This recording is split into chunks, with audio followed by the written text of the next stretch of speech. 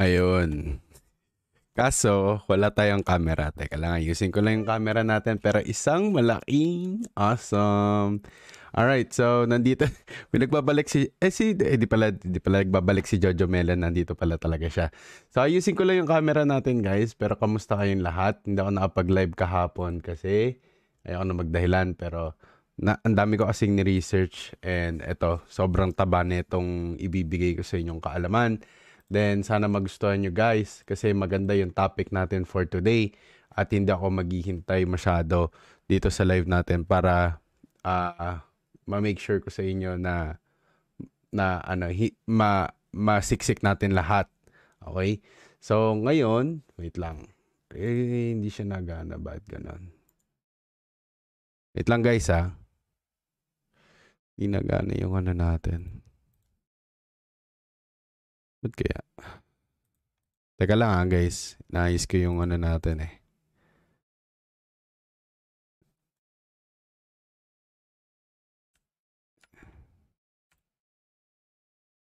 Ayan o, ayaw nyo gumana. Ayaw nyo gumana. Teka lang ha guys, sinaayos ko yung camera natin.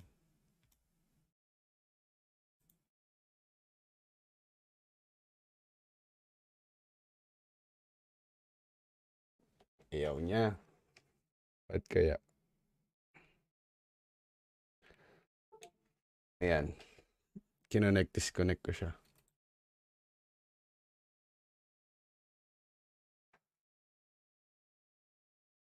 Ayan, meron na ata. Ayan na. Gumagalaw na yung ano natin. Okay. So, yun. Ano, kamusta kayo guys? Kamusta kayong mga ano?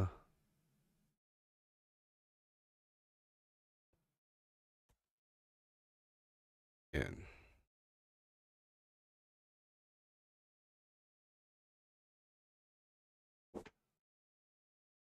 Wait lang guys, ay naayos ko pa eh. Nag... Ito na. Okay na ata.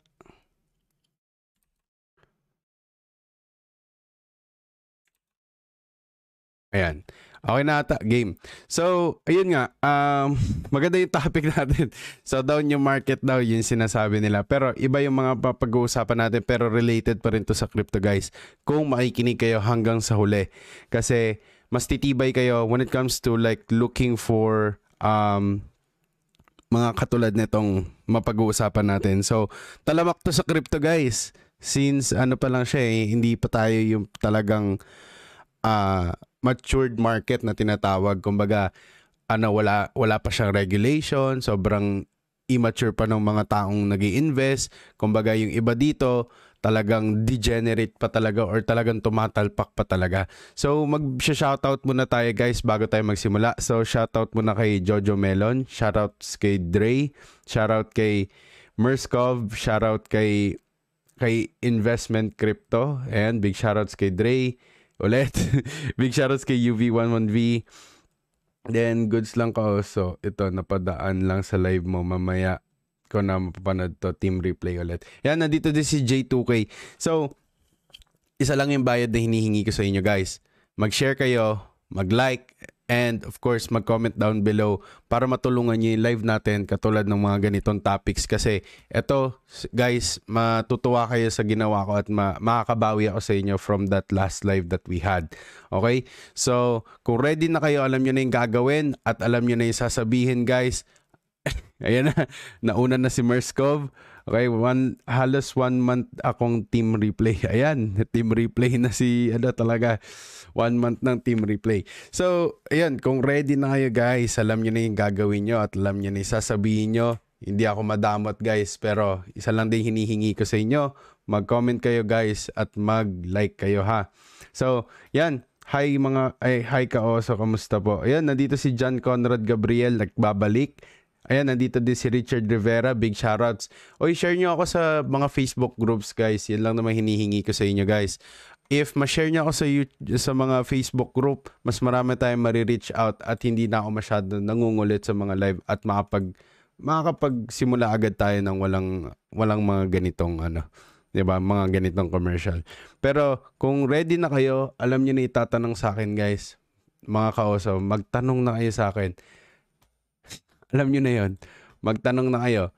Oso, anong chismis? Para simulan na natin to guys. Kasi gusto ko ng, uh, kumbaga, himayin sa inyo lahat tong mga nalaman natin. Okay? Pero wait lang, ah, sinishare ko tayo dun sa mga groups natin eh, pati sa mga Facebook uh, pages natin. Okay? Oh, dahil ako lang nag, wala naman eh. Ayaw niya ako i-share. Ako na lang mag-share.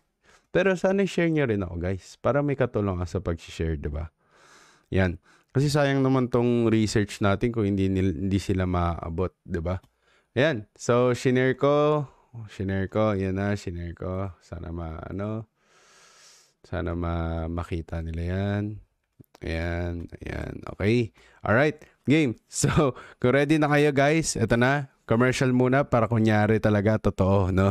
totoo yung pinagsasabi ko. Hindi, joke lang. Totoo to guys. Okay, ito na.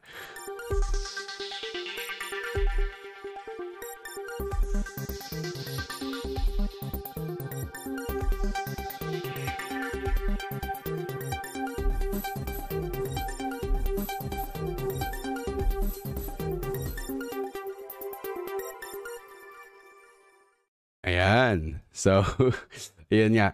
Yun. May nakaabot din daw si Kapisingi Vlog. Pero, ayusin ko lang yung ating ano, ah, uh, background natin para makita niyo yung screen natin. Okay? Ano ba tong screen natin? Ito ba dapat? Alam ko ito eh. Yan. Opera. Opera, opera, opera, opera. Ito. Done. Okay. Yan. So, yan. Dapat dito pala tayo. Yan. Yan. So, ngayon, marami akong ano, marami akong gustong i-ano sa inyo. Ipakita sa inyo, guys. Okay? So, ito. Yan. Mamaya, himayin ko sa inyo. So, ngayon, anong mainit na chismis natin? Ito guys, sisimulan na tayo, okay? So alam ko marami nagtataka sa inyo kung bakit natin to pinag-uusapan, okay? Yan ang isa sa mga dapat nyong pakaabangan dito sa ating live natin at hanggang sa huli. Kasi sasabihin ko sa inyo kung bakit natin to pinag-uusapan, okay? So kita naman sa thumbnail ng title, uh, sa, time, sa thumbnail at sa, uh, sa title ng ad kung ano yung topic natin. Kung sisimulan ko na agad, kumbaga sisimulan agad natin to at um, nang matumbok na natin agad yung kumbaga yung kung anong mensahe na matututunan natin dito sa issue na to. So disclaimer, this is an ongoing case pero wala na akong plano para gawan to ng part 2 and this is my first and last video talking about this and ng lahat ng chismis uh, lahat ng chismis about this uh, about this topic um kaya dapat aware kayo kasi uh, title yan ng channel natin. So, puro chismis lang to guys. Walang katotohanan dito. It's really up to you. Mag-research ka pa rin.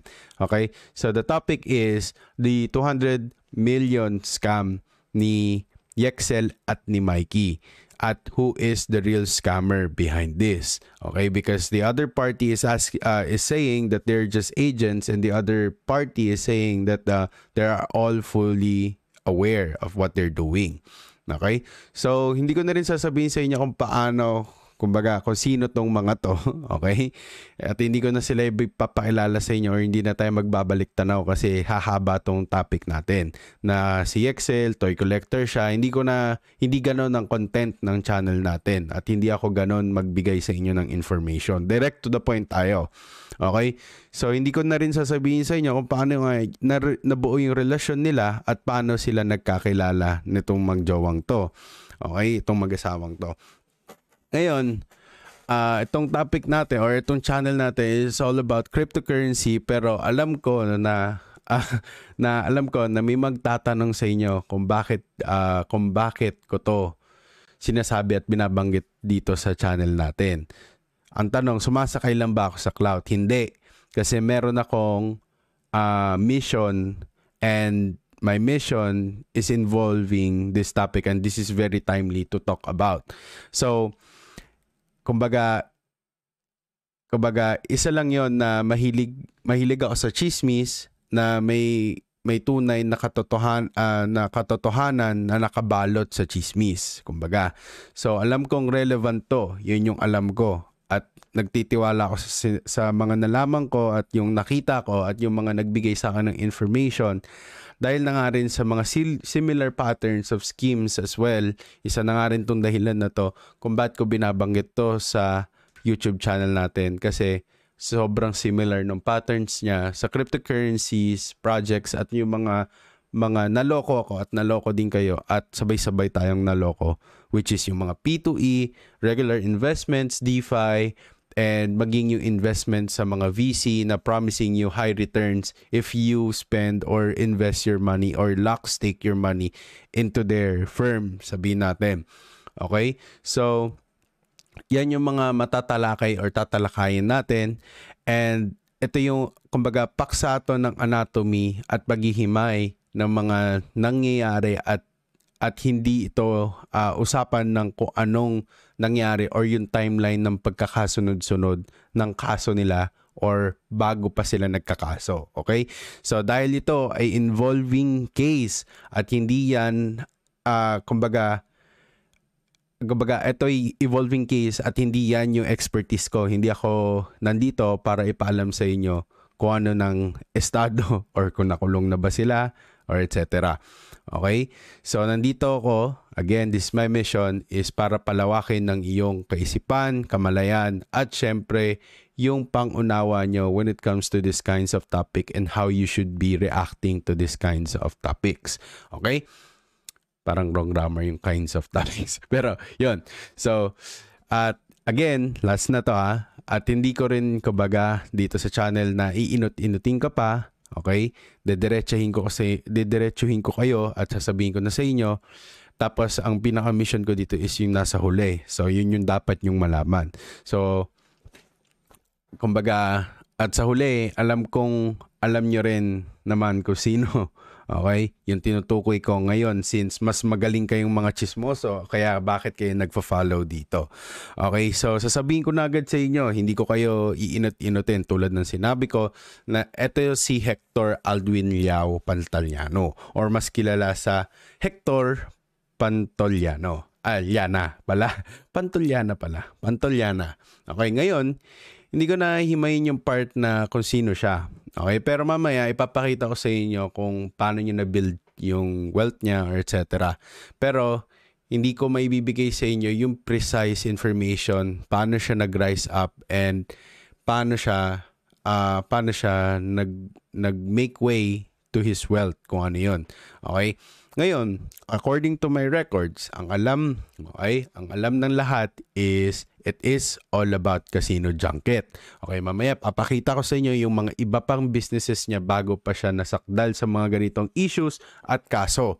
Okay, na hindi ginagawa ng ibang mga Facebook or mga content creators sa YouTube. So, yung iba expertise nila is, okay, ang expertise nila is all about um attorney sila, o yung iba dyan, talagang expert na mga chismoso-chismosa, may mga kanya-kanyang sources, etc.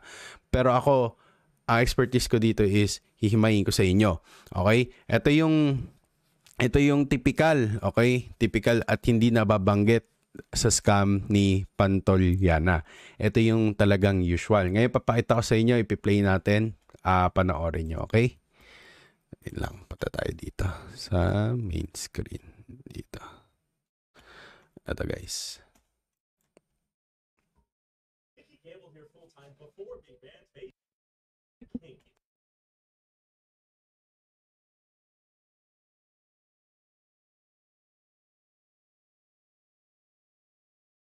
7 here full time before being banned, Vegas would treat him like a king, enticing him to stay here 24 7 in the hopes of him losing millions here at these tables. What would they do for you? Would they throw a jet your way? Give you some pretty ladies to give you some sushi on the plane or what? Yeah, they gave me a 200 passenger jet for myself, and I can use it as often as I want, as many days as I want, go anywhere I want with it. They let me uh, have a residency in all the villas. Another casino gave me a Rolls Royce. They furnished one of my penthouses, VIP access to everything. In their mind, they go, well, we spend one, two, three, four million dollars on amenities for him. He might Yeah. lose 10 million, and they leave as a winner six million. So for them, you know, it's like an investment. But unfortunately, for them, it never paid off. I never lost it all back.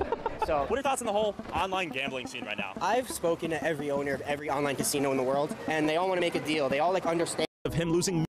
When Mickey gambled here full time before being banned, Vegas would treat Ulitin him lang like natin, a ah, king, kasi enticing mahina him daw. to stay here 24 7 in the hopes of him losing millions here at these tables. What would they do for you? Would they throw a jet your way? Give Yeah. you some pretty ladies to give you some sushi on the plane or what? Yeah, they gave me a 200 passenger jet for myself, and I can use it as often as I want, as many days as I want, go anywhere I want with it. They let me uh, have a residency in all the villas. Another casino gave me a Rolls Royce. They furnished one of my penthouses, VIP access to everything. In their mind, they go, well, we spend one, two, three, four million dollars on amenities for him. He might Yeah. lose 10 million, and they leave as a winner six million. So for them, you know, it's like an investment. But unfortunately, for them, it never paid off. I never lost it all back. So What are your thoughts on the whole online gambling scene right now? I've spoken to every owner of every online So ayun. So yun yung meaning ng ano ah, ng casino junket. Okay? So ito si ito itong nandito sa screen natin na to ngayon. Okay? Siya yung tina-target ng mga casino junket. Okay? So ah kumbaga, ito yung tinatawag ni Yexel na tinatawag niya na legit naman yung junket or leg- legit yung casino junket at nandun daw siya at may may physical ah kumbaga may physical ano tong business na to. Yan yung pinagigiitan niya na legit yung pinag-investahan niya, etc. And uh, he was really forcing na it was not a scam. It's not a, it's not a, kumbaga hindi to, hindi sila na-estafa yung mga nabiktima. Kumbaga ito'y talagang ininvest sa casino junket and casino junket is a um, legitimate business. So himayin natin, kumbaga, ang sabi sa isa sa mga video na ah, ng Rafi Tulfor yung ano niya YouTube channel, okay? Hindi ko papakita kasi mahigpit yung channel nila at nang copyright talaga. So itong ah, junket talaga, kumbaga, ang kumbaga, ito daw yung talagang pinag-investahan according to the records. Okay? At ah, nabanggit doon na ang junket nito ah, ni ni Pan, ah, ni Pantuliana, okay, ay para makahikayat ng mayayamang gambler sa ibang bansa. At sa kadahilanan, okay, at ah, mga batas sa Pilipinas, okay, sabihin natin, at insist nitong junket nila na kaya, kaya, nilang magpautang. Then, back home, ang gagawin lang ng itong mga nalulure na mga mayayaman is magwa-wire transfer sila from their banks or banks while being in the Philippines. So they don't have to go through with the process of declaring their assets na ipapasok nila dito sa Philippines, then matatax, etc. and everything. So ang gagawin ah, sa maikling salita, okay, is magpapautang tong si ano, si Junket kay ano para para kasama na rin dyan minsan yung flight katulad na itong lalaki na sa video natin. So kasama na dyan yung flight tapos kasama na rin dyan yung ah, yung mga ibang amenities or min- minsan meron pa mga penthouse etc. and mga hotels na talagang ah ah, pangmayayaman na tinatawag. So, yun yung pinagkaagasasan ng mga junket. Pati, ang dinagdag nilang ano dito sa junket nila or yung upsell nila, okay? Para mas mahimay ko sa inyo, nag-walk extra mile ng offer yung junket at mga ibang junket na ganito to earn trust at sa mga ah, kumbaga at maging mas mabango ang kasino nila sa mga totoong mayayaman na gusto maglustay ng pera which is the main reason bakit kumikita ang mga ganitong businesses which is yung casino. So dito na papasok yung tanong na saan galing yung mga pera na pinap, ah, pinantatapat o pinang pinanggagalingan ng mga nangungutang. Okay? E di syempre, sa mga investors or yung mga naloko na lumapit kay Rafi Tulfo sa kanyang uh, segment. Okay? So, mga nalure din doon sa mga promises na 5% or yung mga lucrative promises which mamaya himayin ko rin sa inyo kung kung sa inyo sa cryptocurrency 5% yield APY APR mababa yan sa atin. Kasi may mga nakita tayo na ang yield is 20% APY APR naloko pa rin tayo which is yan yung ating tinat uh, yan yung mga tinatawag nung panahunan ng Luna. Okay?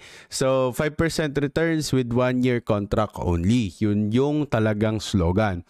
Okay uh, kumbaga na pitch, ang na pitch is 1 million. Kumbaga may kumbaga sabihin lang natin 1 million uh, napautang. Okay, so inut uh, nautang na siya, kinuha ni Yexel. Uh, kumbaga may 50%, uh, 5% and 50,000 pesos return of investment every month in total of 12 months na contract or 1 year contract. So tumataginting na 600,000. Okay? So kumbaga, may mga connection. Okay, may mga connection na chismis din akong uh, hawak dito uh, na kung sakaling baga maraming uh, nagtatanong sa inyo, paano ba sabihin to? Nauutal ako eh. Pwet na naman ako.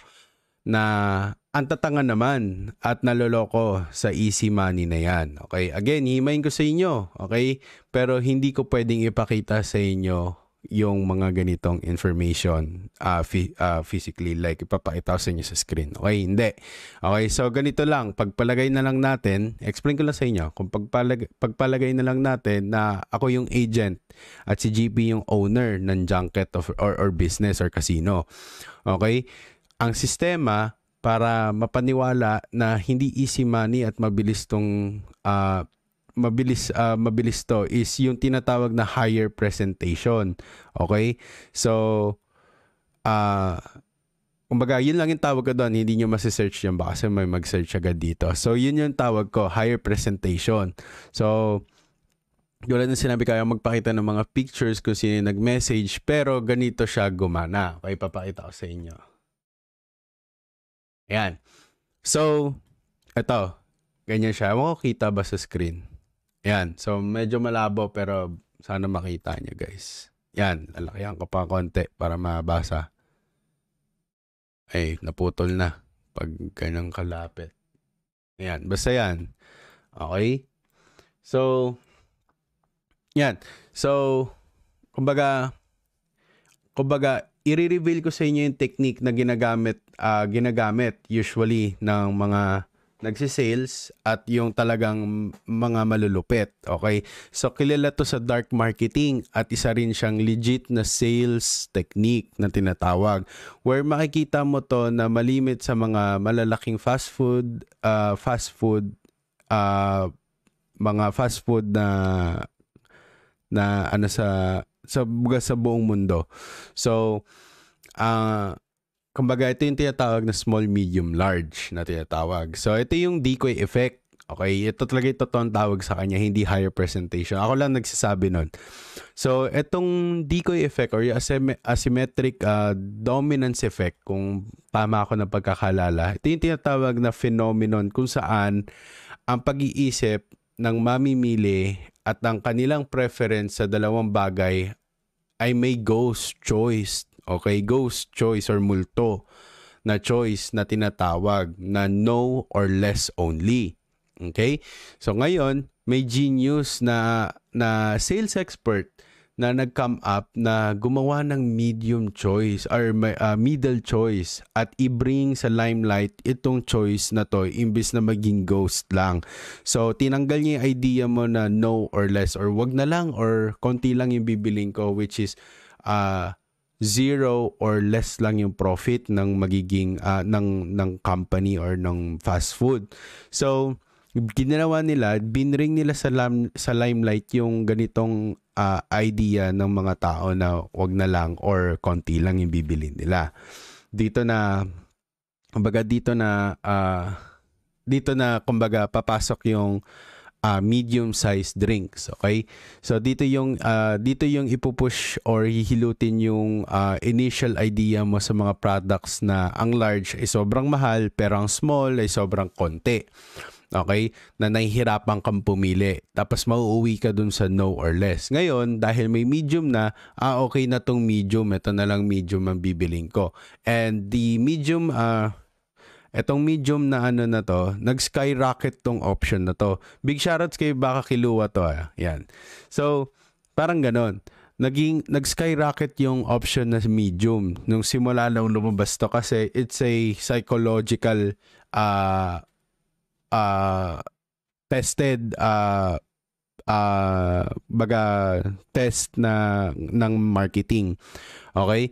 So, dito kaya siya tinawag na no asymmetrical dominance kasi uh, asymmetrical dominated yung dalawa by this medium op- option or yung panggitna. Ngayon, ba't ko binibigay at hinihimay yun sa inyo? Okay, kasi may option. Okay? Ang mga offer na pautang nila Excel at nila Mikey. So, alam kong alam nyo na yon Okay? Pero hindi yung pinopoint ko. Okay? Bale, halos lahat ng agents ni uh, Pantoliana, okay, ganun ang brochure or yung kanilang uh, bracket na ino-offer sa kanilang mga investors. Okay? Ngayon, pag sinabi, ano bang ano, levels ng mga invest, investments, etc., magkano ba ang ano, ganito. So, pag yung highest, 5%, siguro yung kikitain mo, parang gano'n. Pero pag mid-level ka lang, nasa 4.5, then pag ano, pag nasa baba ka, syempre bagsak yung ano, yung uh, bagsak ng isang porsyento. So parang 3.5 tapos 4.5 tapos to 5%. Na parang medium yung medium mo, konti na lang, i-push mo na yung ano, i-push mo na yung high level, which is nandoon sa part na 1 million. Pag lumagpas ka ng 1 million, na ipinautang mo, nandun ka na sa tier ng uh, ah, 5%, parang ganon. So to cut this uh, story short, okay, Kumbaga, meron din sila yung mga technique na tinatawag na, okay, paano ko nakuha itong information na to sa comment sections din. Nakita ko yung mga comment sections ng mga nagbibigay ng screenshot dun mismo sa channel ni ano ni Tulfo. So hindi ko pwedeng kunin 'yun. Syempre mga ano naman to si Tulfo eh, laging nang ano 'yan, nang ka-copyright 'yan. So yung mga nakita ko doon sa ano niya, mga comment section is may mga offers din sila na parang uh, hanggang limited seats, limited offer lang na pag may 20 nang naka-avail nito na 1 million, tataas yung stakes na requirement para ma-reach mo yung 5% return every month. Okay? So, dating 1 million, 2 million na yung 5%. So, pag dati, pa nag-invest ka ng 1 million pesos, uh, meron ka ng, ano, meron ka ng tinatawag na 5%.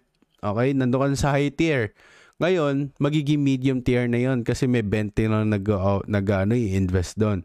Ngayon, palaki ng palaki yung ano, seats habang lumal habang tumataas ng tumataas. Pero secured daw yung nung yung mga nasa baba which I think that's the uh, the crumbling or yung talagang marupok kumbaga dun rumupok yung structure no ginagawa nila. Okay? Ngayon, uh, tulad ng sinabi ko, yun yung isa sa mga reason kung ba't ko hinihimay sa inyo. Kasi that's a common uh, scheme. Uh, hindi siya Ponzi, okay? Hindi ko sinasabing Ponzi or wala akong maibibigay sa inyo na checklist ng mga Ponzi para matawag siyang Ponzi. Pero I'm telling you, these are the common schemes na ginagamit ng mga nanloloko when it comes to pushing you to investing or putting more money in order for you to get more money, etc. Okay? So, effective, okay? Kasi sabi rin dun sa Tulfo Flix na hindi bababa ng 1 million ang mga usual na na go, okay? Or yung pinupush na pera or nilalatag ng mga investors na uh, nagrereklamo. So naging second layer na lang ng assurance and marketing. Okay, yung mga photos na pinapakita nila na may mga pera sila sa lamesa, tapos pera na binibitbit, etc. Kasi ang sistema nila is para makapagpautang ka, it needs to be cash mostly, okay? And they don't uh, usually accept like transfers. So unless it's like a low tier, parang ganon. Kaya makikita mo lahat ng mga yon mostly is naka-cash. Tapos yung iba doon, pag OFW ka, I think they have a very specific um, and concise uh, way to transfer money. Okay? But, ayun, Okay? If nandyan pa kayo guys, mag-awesome kayo kasi gusto kong makita na nakikinig kayo dito.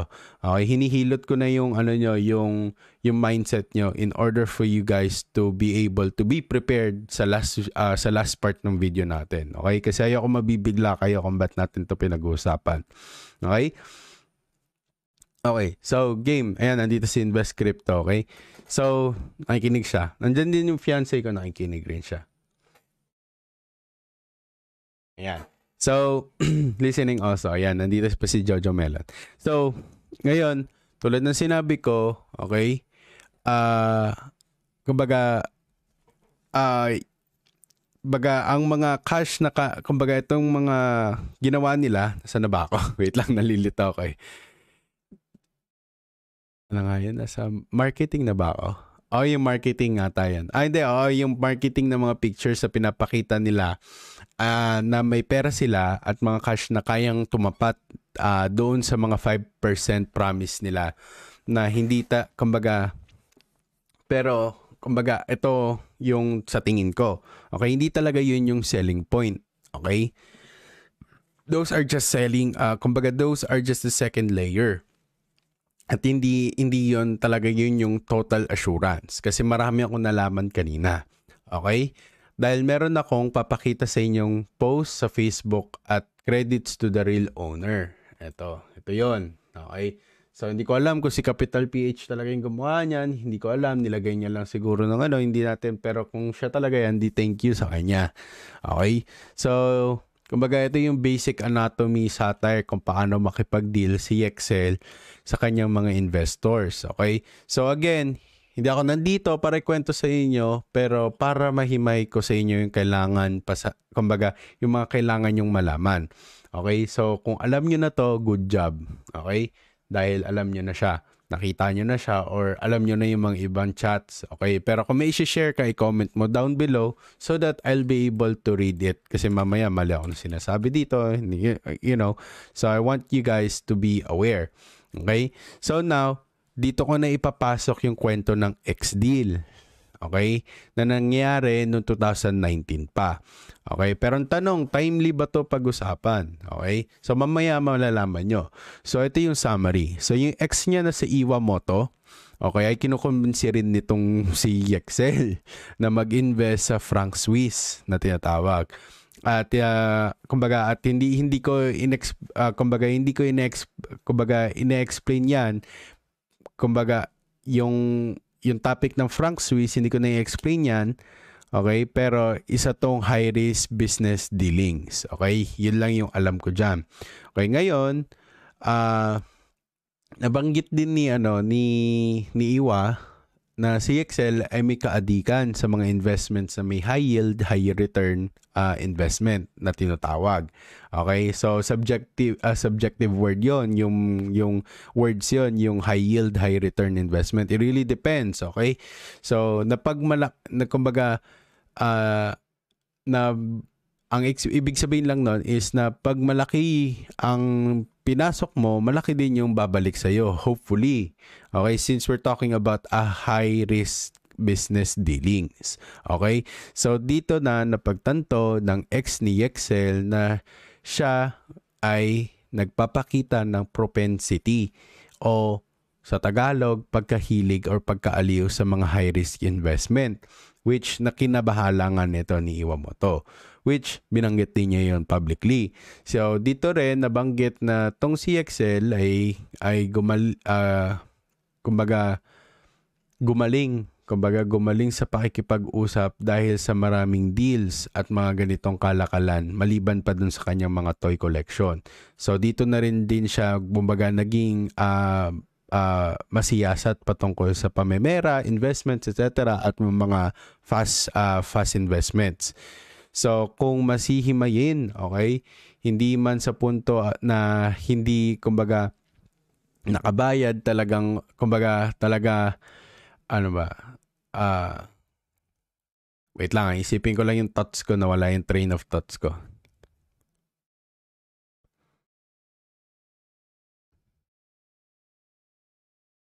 Okay. So, kumbaga, hindi naman talaga doon sa punto na hindi nakabayad talaga or uh, kung bakit pumutok tong issue na to o yung pagpunto ng mga investors nila Yexel at nila Mikey sa Tulfo.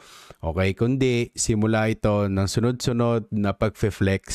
Okay, hindi ng pera or hindi yung pictures na yon kasi actually nakatulong yon as an uh, as a second layer for marketing.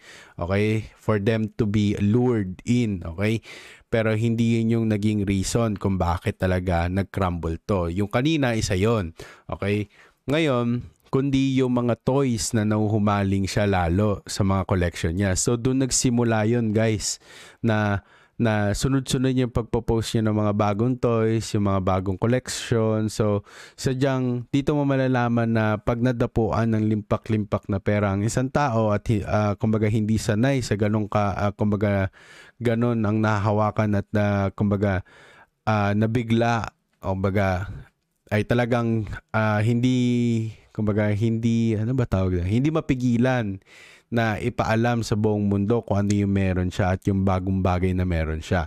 Okay? So hindi kumbaga ito yung tinatawag na yung paghahanap ng kalinga sa kanilang mga nararamdaman. Okay? Na gusto nila iparamdam sa iba yung nararamdaman nila kasi ting, hindi nila maramdaman sa sarili nila. Ngayon kailangan pa may magsasabi sa kanila na ito yung nararamdaman mo. Good job, parang ganon. So, ito kumbaga ito yung tinatawag sa English na seeking an immense amount of external validation due to the uncontrollable and messed up dopamine receptors or yung tinatawag na hippocampal denate gyrus. Tama ba yan? Gyrus. Gyrus. Okay? So hindi ko sinasabi na sure na yun yung mga pinambili niya sa mga investments. Okay, ay, hindi, kumbaga, hindi ako sure kung yun yung mga pinambili niya sa mga toys gamit yung mga ininvest na itong mga OFW et al. Okay, so hindi ko sure yon wala akong data doon. Okay, chismis lang yon So, same thing. So, sinabi ni GB na yung, kumbaga, eto pa, ito sa inyo, na, uh, sabi ni GB na yun din yung nakita daw niya na mga kontrat yung kumbaga yung kontrata sa mga sa comment section na nakikita ko doon sa Tulfo Flix, okay? Na hindi ko pwede ipakita as well katulad ng sinabi ko kanina kasi nga si Tulfo yan, ang bilis mang copyright niyan. Kumbaga yung investments are just contracts uh, inve- hindi siya investment contract Okay, loan contract siya. So ito pa yung chismis. Kaya willing tong mga ano agents na to na ma-push yung mga investments, okay, or mag, um, magpa-invest, okay, na or manguto ng mga investors, okay? Dahil meron silang tinatawag na 0.5, okay? Tapos meron din silang 0.3 to 0.1, okay? Pababa ng pababa din. Katulad ng pagdepende sa investments ng kanilang mga customer or guest okay na mag invest so doon sa 5% na yon sabihin natin meron silang 0.5 so kunyari konti lang yung in-invest, nasa mid-tier lang, 4.5, then meron din silang 0.4, parang ganon. Then, then doon din papasok yung, ano na, yung topic na pag low tier, yung mga tigdo 200, 150k, minsan hindi na tinatanggap, ang alam ko, kasi yun yung nabasa ko sa comments pero ang ang alam ko pinakamababang kinukuha nga nila is yung 200k pero ang investment mo doon is 3 3.5 so meron silang kikitain pa rin doon na 3 per uh, ah, 0.3% or uh, tool na lang at uh, 2.5 ata yon na in, uh, na kapiraso doon sa investment junket ni Hector. Okay? So, chismis lang 'yon. So, yun yung mga nakita ko na sa mga comment section na tinry ko din balikan kahapon pati ngayong gabi pero wala na doon. So, so tingin ko, okay, pwedeng totoo, okay? So, kumbaga kumbaga by the way how it works, okay? It looks like na pag titignan ko yung structure, ganun siya. Okay, parang tugma yung mga chismis ng ibang nasa comment section. Or sadyang nag imagine lang ako kasi naghahanap ka ng sagot at wala akong mahanapan ng sagot. But I think it went rele- more relevant dun sa nung nahanap nung nahanap ko tong mga comment section na to na sinasabi na meron silang kapiraso doon. Kasi later may re-reveal ako sa inyo. Okay? So, kumbaga itong kung kumbaga itong isa na to, ito 'yon, okay? So, kumbaga yung behavior ng mga nasasangkot na sila Yexel at sila Mikey, kung mapapansin or napansin ko is sobrang kalmado lang nila. Okay, so at this point or at the, uh, to the point na parang wala talaga silang uh, sa, uh, isasabit. Okay? So, tingin ko dalawa lang 'yan. Okay?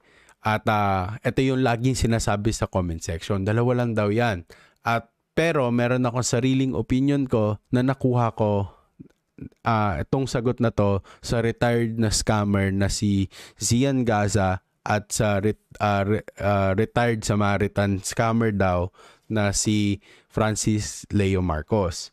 Okay? Na may same structure din na makikita uh, makak, uh, makikita nyo sa kumbaga sa kanya sa mga salaysay at sa mga post din niya specifically kay Sian Gasa na uh, kumbaga uh, kung matatandaan ko at tandang-tanda ko pa din okay yung Sian coin niya lalo na yung P2E metaverse na reality based game niya Okay? So, yan, yung dalawang tinutukoy ko na sinabi ko kanina na tingin ko na karamihan ang iniisip is wala talaga silang kasalanan, okay, at fall guy lang sila o sadyang biktima rin sila at uh, wala rin silang nakulimbat Okay, yun yung tingin ng uh, nakararami. Kumbaga, yun yung usual sentiment nitong mga taong to. okay na pa ulit-ulit. So big shoutouts kay Kim A pati kay Kea. So keep it uh, keep it uh, keep it going yung mga nagko-comment diyan. Kung may tumatakbo sa isipan niyo, i-comment niyo baka masagot natin, okay? Or baka may sumagot sa inyo sa comment, okay? So yun tingin nila, okay? Na kaya kalmado tong atong dalawang mag uh, mag-asawang to dahil fall gay lang sila, wala naman talaga silang kasala, kasalanan at meron silang sariling nilulutong kaso para doon sa totoong may kasalanan which is Hector at etc. at kanyang mga partners na pangunahin. Ngayon, ito yung pangalawa. Wala silang mabigay na pake kasi nakapag-sell out na sila bago pa mag-crash yung market ni Hector. Okay, kumbaga sa cryptocurrency, okay, sa shitcoin, okay, una silang adapters at VC sila. Kumbaga, VC handler silang dalawa, itong si Excel at si ano, at yung ibang mga agents, okay, kanya-kanyang VC sila. Tapos, naghahanap sila ng mga taong maniniwala sa kanila sa VC nila na tama yung magiging investment sila. Okay? Which mamaya explain ko rin sa inyo tong uh, ah, VC and yung magiging, yung legitimate na ganitong firm. Okay? So, so, uh, yung tipong kumbaga yung yung nakapag kumbaga nakapag sell out or nakapag kubra na sila. Okay, na cash out na nila or may cash na talaga silang hawak. Yung tipong may 0.5% tulad ng sinabi ko kanila dun sa total of 5% ng kabuuan ng lahat ng ininvest or napasok nila doon sa business ni Hector. Okay? Na kumbaga na in, kumbaga itong investment pitch na inaalok nila whether si Yexel to yung mga inve, uh, investment agents ng uh, ng ng uh, in, uh, ng ng ng junket casino na to. Okay? Na kumbaga sinabi din doon kasi sa live na designated sila or naka-designate sila sa bawat regions. Okay? Hindi sila yung parang uh, halo-halo. Okay, so kunyari meron tiga Baguio, meron silang tiga Manila, ito sila Excel tiga Manila. Okay? So kumbaga kung ako tingin ato, sige, tatanungin ko na lang kayo, ito na lang. Okay, kasi hindi ko na masundan yung bulleted form ko dito. Eh. Hindi ko na siya susundan.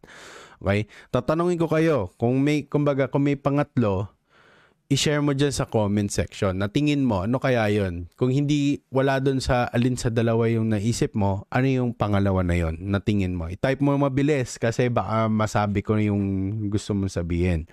Okay? So, kumbaga, etong etong dalawang to, ang iniisip ng lahat is nagfo-fall into place na. Kumbaga, na, o nga no, tingin ko ganito. Yun yung lagi ko nakikita, tas ang daming laging likes. Kahit yung iba, copy-paste na lang ta- sa ibang mga nag-comment, dinadala nila sa ibang posts or sa mga live patungkol dito sa Excel and Mikey scandal na to, etc. Okay? Ah, eh, eh, sa akin, ito yung pangatlong hula ko. Okay? So, kung may ko-comment kay comment mo na yan. Okay? So, tingin ko, okay, confident at maalam sila. Okay? Kaya sila kalmado. Okay? Dahil, ah, lamang ang may alam. lamang may alam. Okay? Kasi maalam talaga sila. Alam nila yung ginagawa nila. Okay, papakita ko sa inyo. Wait lang kung bakit. 1, 2, 3, 4, 5, 6. Ito. Okay. So, ito. Papakita ko sa inyo. Saan na yan dito? Ah, ito. No person, ayan o. So, according to ar- Article 3, okay, Article 3, Section 20, wow.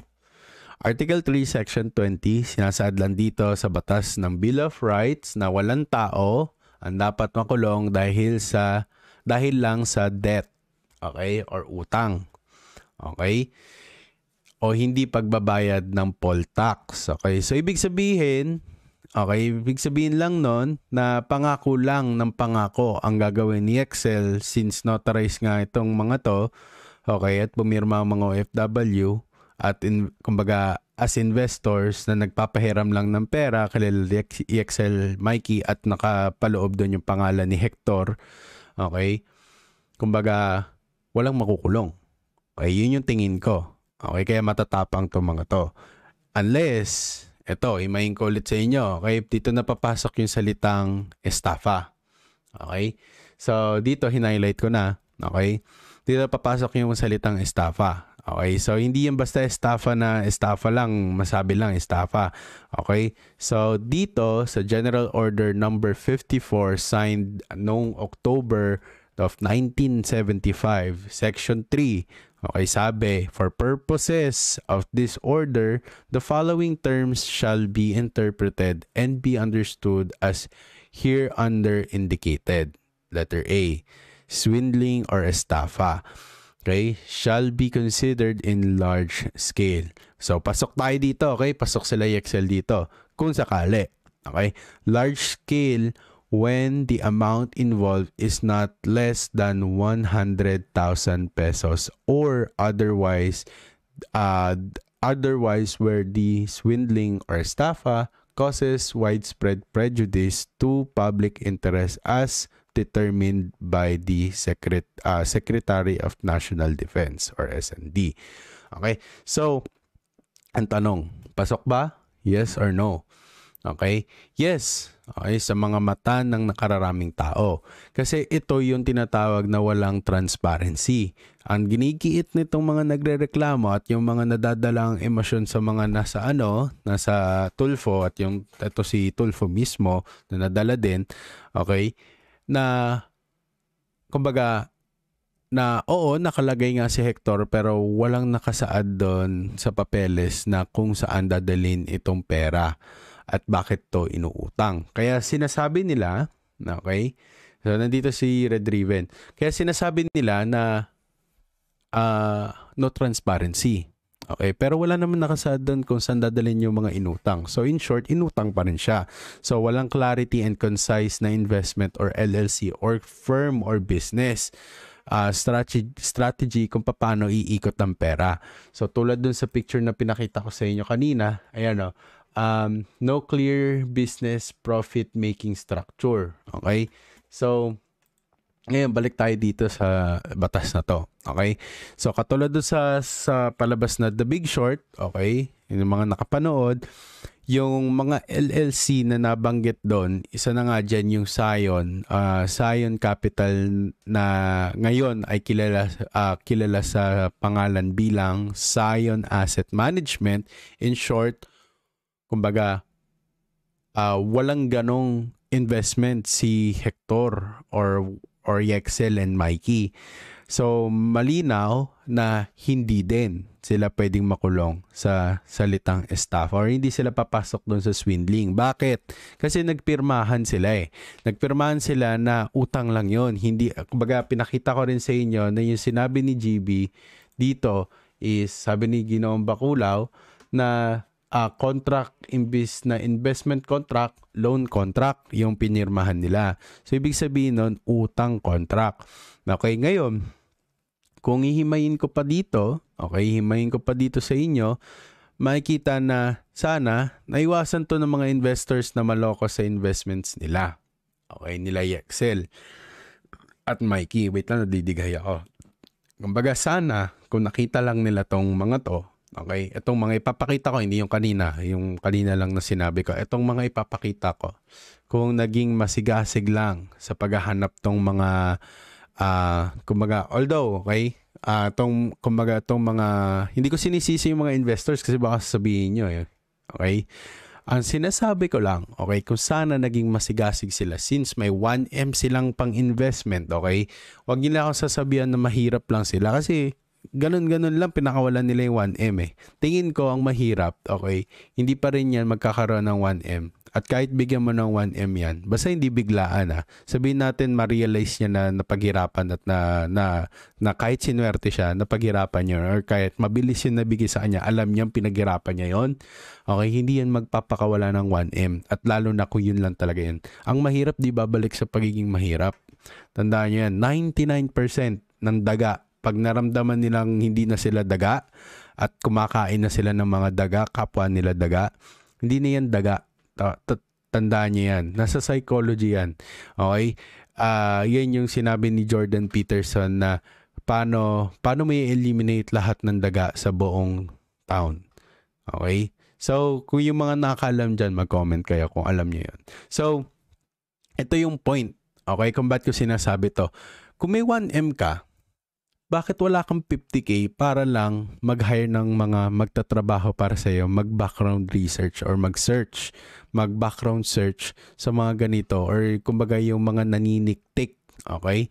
ng mga kaalaman at uh, kumbaga uh, mga information na wala sa internet. Since tinry ko yung uh, i-research to si Hector, wala siya sa internet. Okay? Pero meron akong mga connection na nakita, okay, at nalaman, okay, at mga nakausap na makakapagbigay ng mga information na mamaya ibibigay ko rin sa inyo, okay? Huwag kayong mag-alala. At binigay ko na rin siya doon sa Ranger chat natin or paid sub chat natin dati na ganun ang pangalan dito sa YouTube. So, yung mga naka-paid sub-chat, yan, katulad nila Arville, yung may mga ano, yan, si Invest Crypto, yan, sila, may access sila doon. Okay? So, kumbaga, yun yung pinagtataka ko. Uh, 50 to 100k lang yung bayad. Kumbaga, at uh, hindi sa nilalang ko lang yun. Okay?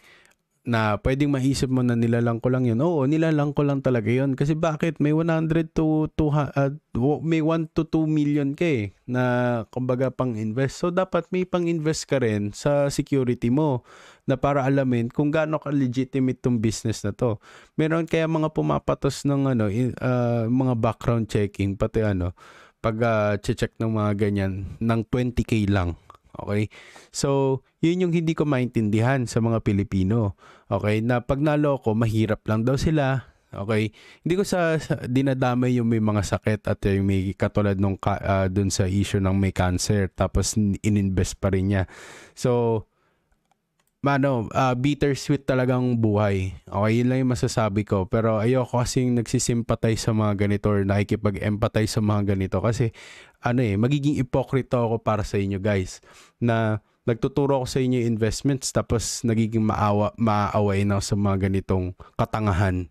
Okay, na ano, na basic knowledge na lang yung may 1 million ka, bakit hindi mo pagalawin yung 1 million mo in a in a more radical and more reasonable way na hindi yung tipong may nag-alok lang sa'yo, okay, sumigi ka. Okay? So katulad ng sinabi ko sa inyo, yung 5 yung 5% hindi yun too good to be true. Okay? Kasi magaling magpwesto to sila Excel, pa, lalo na si Hector since siya yung naging puhunan nung structure na yan. Okay? Kasi nilagay nila yon sa point na na eto nga eh, meron dito investment 10k pero naloko. Ito 5k lang to guys. 5k tong ano, yung ibabalik namin sa inyo. Ito yung hinihingi namin sa inyo. 5 5% lang yung ibabalik namin ibabalik namin sa inyo. Okay, hindi kami nag-aalok sa inyo ng 5 uh, ng 10% katulad nitong mga to na uh, naloko, manloloko talaga, etc. Ga- pwedeng ganon yung nangyari or more worse which is sasabihin nila gagawa sila ng ano decoy enemy nila. Okay? Na sinasabi nila na ah, okay, ito may mga ibang investments na 20 20%, sabihin din nila cryptocurrency is ito nag-crash. Bakit dito 5% lang hindi ka nag-invest, etc. Okay, parang ganon. Okay? So um kumbaga uh, masakit kasi yun sa ego eh. Okay? Na meron kang mga safe investments na talagang ibabalik sa iyo yung mga yield mo. Sabihin natin mga uh, mga mga VUL life insurances. Okay? Na hindi rin nila masabi no kasi life savings ko yan. Nakakahiya talaga to yung mga taong to. Okay? Hindi hindi ko rin kayo, kumbaga hindi ko rin kakampihan yung mga taong ganyan. Okay? Hindi kumbaga nakaka ipokrito ako kung sasabihin ko na oh nga nakakaawa sila etc. or ano, makikipagsimpatize makikisimpatize ako sa mga ganitong tao. Okay? Hindi ako ganong tao. Okay? Na sasabihin ko pa rin sa inyo guys na kawawa sila, oo, pero hindi ako naaawa. Okay? Na para sabihin din lalo nila na life savings nila yon at uh, pin, kumbaga na na pinaghirapan nila yung buong ano nila no so sabihin natin na na kahit sabihin nyo na kung wala naman maloloko hindi naman kami maloloko walang maloloko ang mga ano kung matalino tayo at wais tayo. Yun lang yung masasabi ko dyan, guys. Okay? Na lalo na yung mga ano talaga, ako, naloloko ako sa P2E. Kasi bakit? bakit? 'Di ba? Kasi sometimes ano eh, 'di ba, laro siya eh. So, parang nalulure in ka talaga na mag-invest ka pa, mag-invest ka pa para lang sa malaking ano eh, malaking return, etc. So, parang gano'n. Pero ano siya eh, ah uh, uh, delikadong laro siya, kumbaga. So, pero bila, baga, bilang flex, okay? Sa aking kakayanan. At ito ipapakita ko sa inyo sa screen na yung iba pang investment nila Hector at yung kanyang mini bio na nakita ko through sources or mga other galamay natin sa internet. Okay? So pakita ko sa inyo guys ha. Kasi daya naman kung si Ranger Chat nakikita niya. So papakita ko na lang din to sa mga nandito sa live natin. Since, di ba? Ito. Wait lang ha. Prepare ko lang yung live natin para makita niya. Hindi ko siya maano eh. Blablabla. Saan ba yan? Um, um, Discord. Saan na yung Discord? Ay, hindi nakikita. Talaga? Damot? Eto. Pati kita. Ayaw niya. Oh. Galing ah. Discord. Oh, galing. Wala siyang Discord, oh. Ayun na, meron na. Kita na. Ito guys, pakita ko sa inyo. Ayan.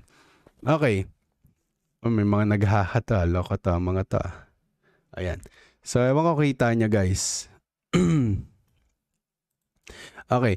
So, ayan. So, ito yung mga businesses niya. So, Halp uh, Construction Incorporated, yan. Hector Pagtalian is the CEO of the AHHALP, okay? Construction in Inc. Okay, HP Luxury Cars Trading Inc. Okay, is also the CEO and HP Luxury Cars Trading Inc. Okay? Then, meron din tayo dito ni HP Luxury Health and Cosmetic Sense. Pinasok na rin niya yung beautification, etc. Si Hector Pantolian, uh, Pantoliana, Pantoliana, ano Pantoliana? Pantoliana, okay, holds the position of the uh, CEO in HP Luxury Health and Cosmetic Sense. Okay? So, lahat to passive sa kanya. Kasi may mga galamay na siyang nagtatrabaho para dito. So, si uh, V Cafe naman by HP Corp. Okay, he's the CEO of V Cafe by HP Corp. So, most of these uh, investments are networking kung mapapansin nyo, no? So dito, Great Southern uh, Maritime Shipping as well. So ito na. Ang ganda ng business niya na to. So ito isa sa mga pangarap kong business. Okay? Na shipping. Okay? Na mga shipping lines. Okay? So Hector Pantoliana is the CEO of the Great Southern Maritime Shipping. Pwede na nga siya maging ano eh, men- maging mentor eh kung tutusin. So ito pa, International Digital Innovation Sports Conf Federa- uh, Confederation or IDISC SC is the president of the International Digital Innovation Sports Federation. Ito na yung may kaso. Okay? So the aim of the organization is to promote digital innovation sports as true sports and become the global body of uh, body a body in charge of maintaining, promoting and supporting it. Okay? Ito yung mga esports blah blah blah um, etc.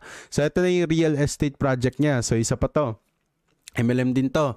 Meron din siyang MLM structure sa loob. So si Hector Liao Panta, uh, Panta, uh, Pantaliano, Pantoliano, ay Pantoliana, okay, was involved in real estate projects in Baguio City.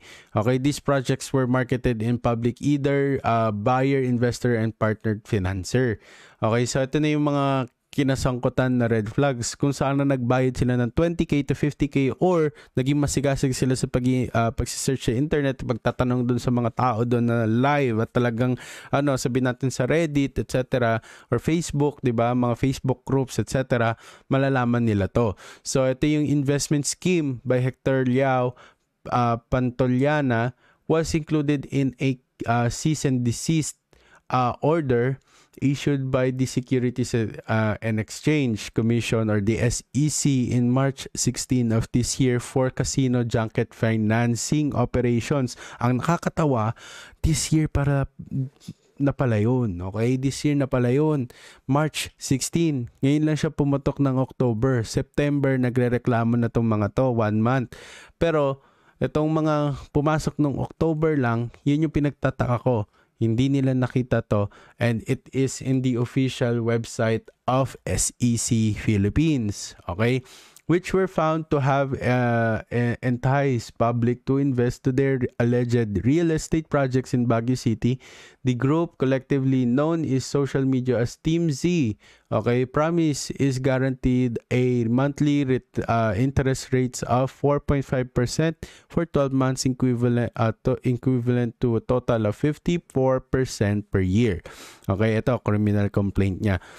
A criminal complaint led to the indictment of uh, several individuals, including Floresca, for violation of the Securities Regulation Code or the SRC and Republic Act or RA 11765 Financial Products and Services Consumer Protection or FCPA law and re, uh, relations uh, relation to RA 10175 or the cyber uh, cyber cyber cybercrime protection act of 20121 Hector Liao Ponta, uh, Pantoliana okay was in uh, included in this order. So ito na yung fraud naman niya allegations okay?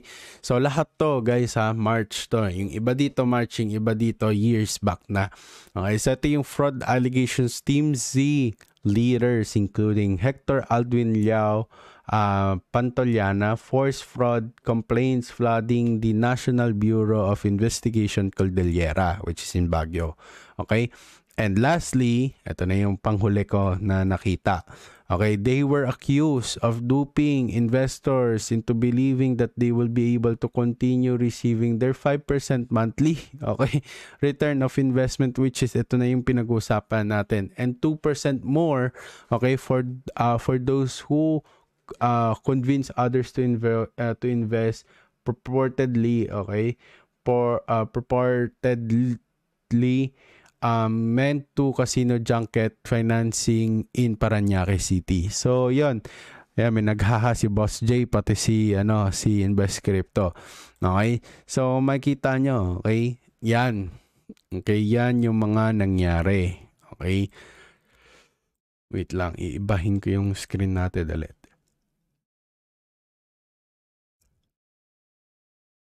Ito, ito, ito. Saan na ba yan? Ayan. Okay. So, dadalhin ko kayo doon sa official website na naba, ah, hinanap ko yan. So, ito yan. Okay? Ito yung malupit dyan eh. Ayan, oh. Yield a 10% payout duly supported by post-dated checks of notarized contract of loan. On the basis thereof, uh, well as Mr. Pa- uh, Pantoliana's representation, okay, that he was a junket license from Pagcor. And that PNEL, okay, has a primary uh, primary uh, primary and secondary license from the SEC compla- uh, ayan oh, ito com- complainant de Fili- uh, De Felipe initially invested 3 million pesos which resulted in the execution of the contract of loan and the issuance of the post-dated checks in her favor. Okay?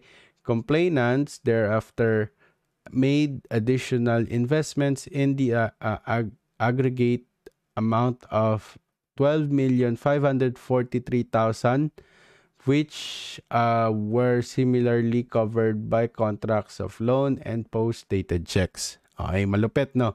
So, pero ito mas malupit dyan. Nandito yung pangalan niya, tapos nandito din yung ayan, Het- Hector Alvillao uh, Pantoliana. Okay, Team Z. Nandito din yung ano niya, tropa pips niya, kamag-anak niya, Suzyao Pantoliana. Okay, nandito din si Raymond Monsky. Okay, yung mga una-unang ano, mga sikat yan, si Quarel Kieng. Okay, si Erwin Weng. Okay, may mga alias pa talaga, latamong ano talaga. Okay, si Kim May May Mayka. Ano din si Daniel Agbisit, pati si Paul Tolentino Maranan. So, itong mga to, sinerch ko rin pero irrelevant na kung papakita ko pa sa inyo. Okay, so ito yung isa pang ah, friendly na makikita ko na parang oso da chismoso ang galawan. Okay, 2020 pa to guys. Okay, ganito ako mag-explain at ganito ko i-explain sa inyo. Himay. Okay, so basahin nyo na lang guys habang nagsasalita ako. Okay? So, tulad ng sinabi ko, dito na papasok yung paglipad nila sa Japan. Ang tanong, mahuhuli ba sila? Okay? Kasi ang dami na nagtatanong yan. Ako, wala akong pake. Okay? Wala akong pake dyan.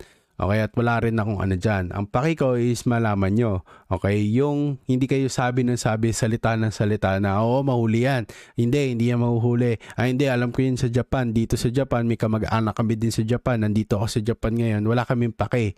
Okay, ang importante dyan, ano yung totoo? Kasi ang karamihan nagsasabi na walang extradition treaty ang Pilipinas at ang Japan.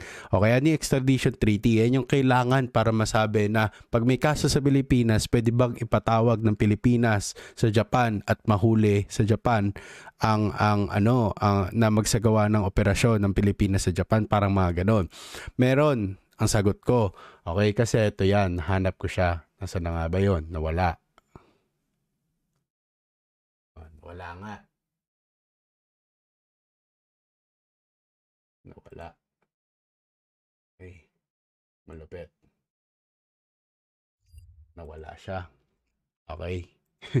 nawala siya, nawala ako. Hindi ko na makita. Ah, ito, ito. Tingnan natin. Kung mahanap ko pa yun dito. Ito, ito, ito. Yan. Ito yung patunay na meron. Okay, pero hindi ko na masyado binasa, pinada, pinasadaan ko lang, hinanap ko, kinontrol F ko lang din. Kasi 14 pages to at uh, magta-time na para ma-report ko na agad to sa inyo. Okay? So, kumbaga, sa, uh, ang nakikita ko, okay, at ni-review ko, at sa nakita ko sa ni-review ko, okay, sadyang mahina, okay, at uh, kumbaga, hindi masasaklaw yung pwedeng kasangkutang kaso nila Mikey at ni Excel. Okay, ngayon, hindi. Yun yung sagot ko din. Oo, and hindi. Okay, hindi kasi nakadepende sa magiging extra uh, extradited treaty factors na tinatawag na tulad ng sinabi ko including dun sa specific charges against them sabihin na lang natin na utang okay si utang hindi Hindi yan saklaw. Lalo na sa Pilipinas, wala tong kulong. Okay, walang nakukulong sa mga ganitong kaso. Okay, at hindi siya kaso. Okay, may mga office ng gobyerno na pwedeng magpatawag at uh, pag hindi ka nakakapunta, okay, hilahin ka lang naman papunta doon sa office na yon para mag-swear ng oath nyo kung kailan ka magbabayad at hindi ka maka at pag hindi ka makasunod doon kung may mga underlying na na kasunduan maliban sa kulong or ano, detainment, eh, sabihin natin, dagdag isang porsyentong interest, etc. At umuo si nangungutang, o sige, o sige, basta next year ako magbabayad. O ngayon, naniwala na naman to si pinagkakautangan. Okay, sige, dahil may 1%, o yun. So, ganon. Magpipirmahan lang kayo doon. Okay, ngayon, ngayon, ito na lang yung kayang gawin yung na utangan. Mag-wish na lang siya na sana guma- gumanda yung buhay o gumana yung pinaplano niya na uh, magpapapera sa kanya at lumaki yung pera niya. Ngayon, kung estapa, depende yan sa, ev- sa ebidensya or evidence na presented at legal processes na magaganap. Both countries yan, hindi lang basta sa Pilipinas. Sabihin natin sa Pilipinas, okay, okay, estapa yan. Eh, pero sa ano, ibang ano ng Japan patungkol sa mga ganyan at hindi pasok dun sa total amount, sabihin lang natin, okay, well, well, or, or meron, or pasok, sabihin man natin, okay, pero sabihin na nga lang natin hindi, Okay, hindi papayag si Japan kasi nakadepende pa rin yan. May treaty na sinusunod. Okay, para hindi maging sobra o kalabisan sa Japan or may masasagasa ang mga batas ng Japan ang Pilipinas or yung puwersa ng Pilipinas na mag na ipapadala para hanapin o galugudin ng buong Nagoya o buong Japan para lang mahanap ng dalawang to. Okay? So, okay, kung papaikliin lang natin yon dalawa lang ibig sabihin nun. One, is complex. Number two is lengthy. Kung sa Tagalog, komplikado at mahaba. Mahabang proseso. Okay, yun lang yon. So, ngayon, ito yung sampung tingin ko na dapat yung matutunan para mag-gather nyo yung, inf- uh, kumbaga lahat ng pinag-usapan natin, ito yung sampung bagay na dapat nyong patatandaan. Okay, para makaiwas sa mga ganito. Maliban sa dapat mag-hire kayo, mag-research or mag-hire kayo ng mga taong mag-research or yung taong talagang magtitik-tik or susunod dito sa mga ganitong tao na pinag-iinvestahan nyo, etc. Sabihin natin, okay, sana makipagtulungan si Excel imbis na umalis ng bansa. So, yun nga. Uh, ito, pakita ko na lang din sa inyo. Okay, mag-alala, 30 days lang yan. Pwede siya mag, ano, sabihin natin, uh, babalik yan eh. Or pwedeng uh, pwedeng hindi. Okay? Pwede kasi siya dun mag-extend. Hanggat walang sinasabing Pilipinas uh, na, na mag-agree ang Japan sa treaty na to, okay, yun lang masasabi ko dyan. Okay? Mag, ano lang yan, mag, uh, e-entry lang yan ng e-entry. Okay? May tawag doon eh. Wait lang, tatalangin ko lang si ano, fiancé ko. Anong tawag doon, Bibi? Yung pag ano? Yung sa entry-entry? Multiple entry ba yun? Or Multiple entry. Ah, yun, multiple entry. Okay, kasi nasa Japan siya ngayon, ako nasa US ako lang. Wala akong alam sa mga ganyan. Pero sinasabi ko lang sa inyo, okay, para aware kayo. Ngayon, huwag kayo magalit. Okay, pag napapangunahan kasi kayo ng emosyon, hindi kayo nakakapag-isip. At ito yung sampung bagay na yon.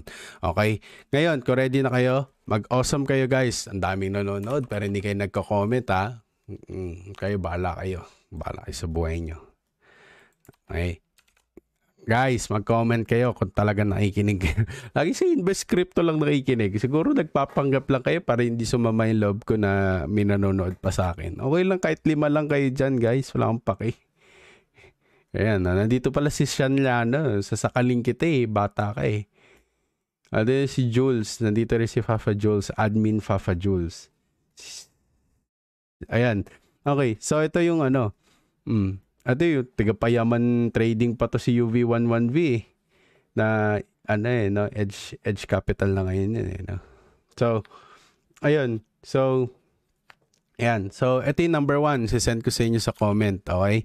Yan.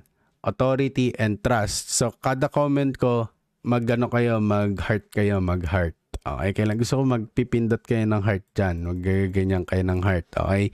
So, magaganyan kayo ng heart pag nagko-comment ako. Para alam ko nandiyan kayo. Okay, or okay mag-comment kayo ng bear. Okay, yan yung ginawa ni Marvin Estudillo. Okay? So, bakit authority and trust? Okay, so Mikey, uh, Yexel and Mikey could have actually leveraged their YouTube fame and social media influence to gain to gain trust and uh, uh, potential investors. Kumbaga ginamit nila yung kanilang YouTube fame or yung social media fame nila na binild nila ilang years. Tapos isipin mo yun sa, ilang, sa isang idlap no, nasira yon Yung investment mo ng ilang years tapos na nabawi lang sa isang ano, sa ganyang ano. So, kumbaga people are uh, kumbaga yung mga mabababaw na tao ito lang masasabi ko yung mga mabababaw na tao Okay, kung sila yon yung mga nabiktima, yung pa rin sasabihin ko. Okay, they could have actually done their due diligence and their research and their efforts, their full efforts since pera to eh, malaking pera tong pinapasok nila. Bakit hindi nila nilakihan yung suspecha nila para malaman kung totoo or hindi nila nilakihan yung yung other investment nila which is yung pag-hire. Okay? So generally, uh, people generally trust familiar faces eh. So, matagal na kasi sila si Excel. Ano pa lang, Jamich pa lang, nandyan na yan. Tapos girl trends pa yan si Mikey. So, wala tayong magagawa. Talagang ano, hinubog ng ABS-CBN, pati ni YouTube, di ba? So, yung online pres- uh, presence nila kasi, isa yan sa mga nag-serve uh, to form a social proof. So, yan yung mga iingatan nyo uh, okay, bata ko mabilis nagtiwala ah, kasi may authority and trust. Ngayon, dito na tayo yung tinatawag na FOMO or urgency na tinatawag, the high return urgent needs. Okay, nag-promise sila ng 5%. Kumbaga sa mga may uh, yung mga hindi nasa crypto or wala sa aggressive investments at na mga nasa REITs, yan yung mga nasa stocks, commodities, bonds and mga ETFs etc. Yan. Okay So yan yung mga mid and uh, mid and uh, safe, okay, mga life insurances, okay.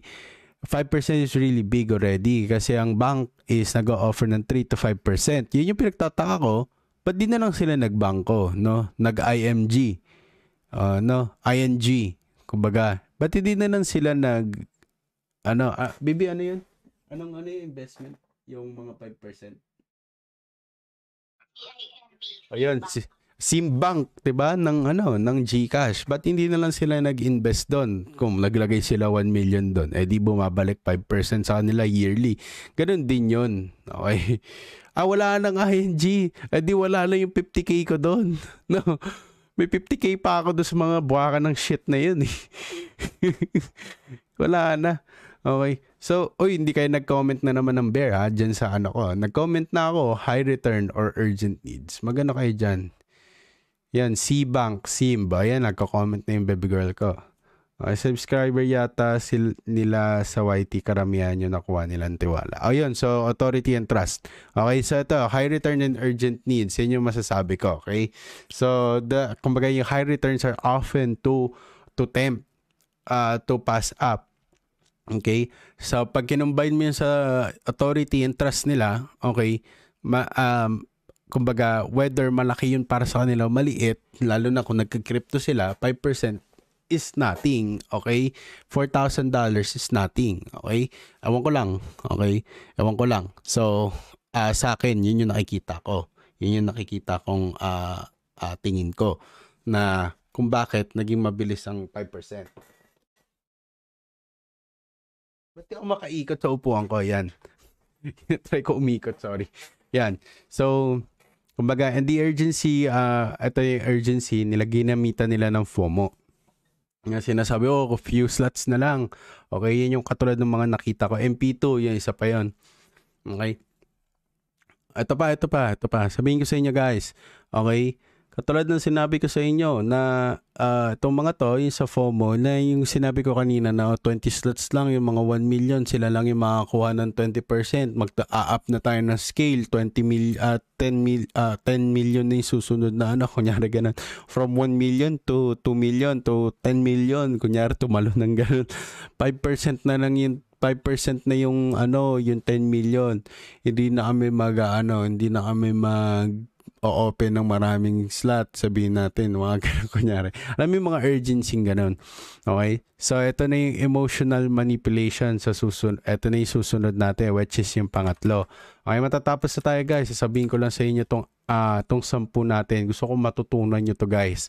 Okay, kasi ito yung natutunan ko for the long years of me trying to sell, to upsell, listening to people like Jordan Belfort, um, sell like crazy, Napoleon Hill, yung mga uh, addict sa selling, yan sila uh, Gary Vaynerchuk, yung mga talagang entrepreneur na malulupit sila Carlone, yan sila ano, sila Tony, uh, Ro- uh, Tony Robbins, sila sino pa ba?